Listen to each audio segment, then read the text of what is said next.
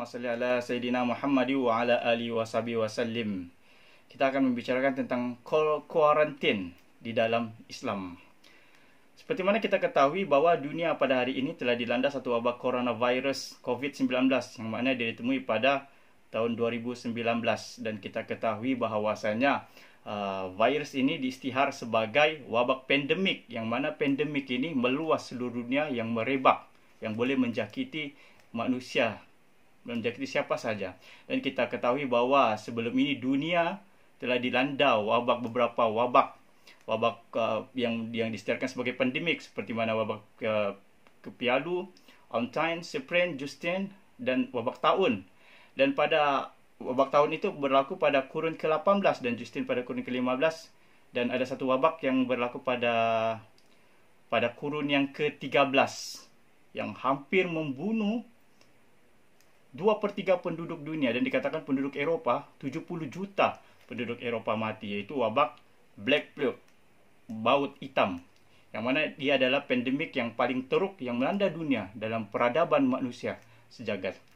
Jadi ketika mana berlaku wabak pandemik yang black maut hitam itu berlaku satu isolasi iaitu pengasingan diri pengasingan diri manusia di, di beberapa di, di, dikatakan di satu pulau selama 30 hari lalu ditambah menjadi 40 hari.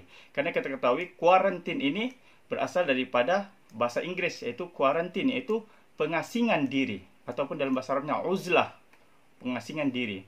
Dan kuarantin ini daripada perkataan Itali yang mana kuat quattro itu adalah empat.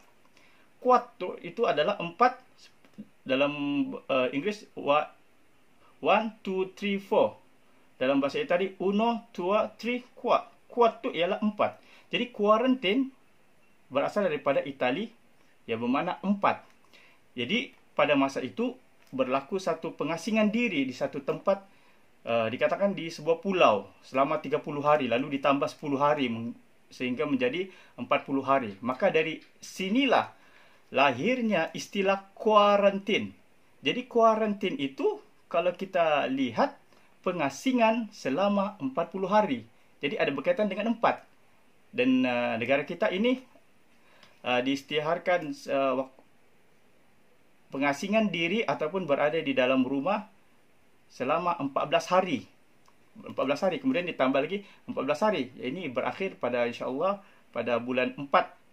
Jadi ada kaitan dengan 4. Jadi kuarantin itu maknanya 4 kuarantin pengasingan diri selama 40 hari. Jadi adakah di dalam Islam kalau kita lihat daripada tasawuf orang yang menuju kepada Allah Subhanahu Wa Taala melakukan uzlah khulwah selama 40 hari untuk menuju kepada Allah untuk untuk ber, untuk mencapai satu ma'rifatullah iaitu pengasingan diri, penyucian diri selama 40 hari. Jadi kalau kita lihat di dalam Al-Quran dinyatakan bahawa Nabi Musa bermunajat kepada Allah 40 malam. Di dalam surah Al-A'raf 142 begitu juga dalam surah Al-Baqarah di uh, ayat 51 dinyatakan bahawa Nabi Musa alaihissalam beruzlah atau mengasingkan diri di Bukit Tursina. Seperti mana dalam Al-Quran a'udzubillahi minasyaitonir rajim wa wa'adna Musa 30 lailah wa atmamnaha bi ashrin dan kami me- menjanjikan kepada Musa supaya Musa beruzlah selama 30 malam wa atmamnaha disempurnakan uh, uzlah itu menjadi 10 bi ashrin dengan 10 dan lengkaplah menja- menjadi 40 bi ashrin fatam miqat rabbu arba'ina laila sehingga menjadi 40 malam.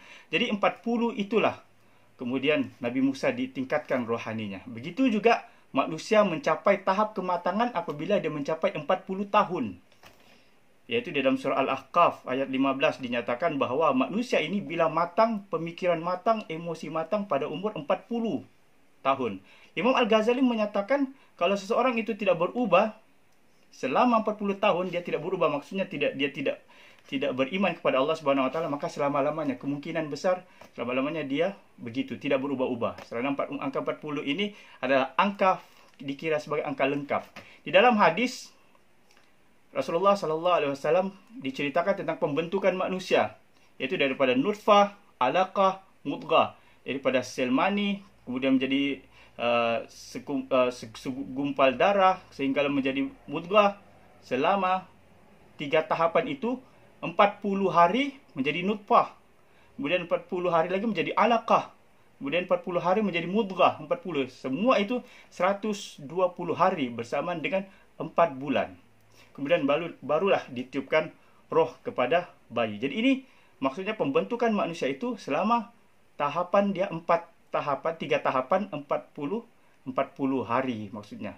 Nabi Muhammad wasallam kalau kita lihat uh, Rasulullah diberikan wahyu oleh Allah Subhanahu wa taala setelah uh, mencapai umur yang umur 40 40 tahun. Jadi begitu juga orang yang minum khamar tidak akan diterima. Dia punya amal ibadah selama 40 hari. Jadi angka 40 hari ini begitu angka yang lengkap. Jadi nyatalah kepada kita bahwa kuarantin atau isolasi diri atau memisahkan diri daripada masyarakat selama 40 hari itu sebenarnya dia adalah satu langkah yang bersepadu. Jadi marilah sama-sama kita uh, mengikuti saranan kerajaan untuk mengisolasikan diri iaitu untuk memisahkan diri daripada masyarakat agar wabak pandemik ini wabak COVID-19 ini dihentikan dan berhenti serta merta insya-Allah. Wabillahi taufiq wal hidayah wassalamualaikum warahmatullahi